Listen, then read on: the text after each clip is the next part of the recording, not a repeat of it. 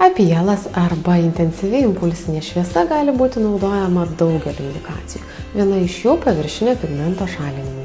Kadangi mūsų aparatas IPL šviesą gali išskirstyti į dar specifiškesnius srautus, tai IPL šviesą naudojame tiek aknės, tiek pigmentacijos senėjimo bei veido raudoniui šalinti.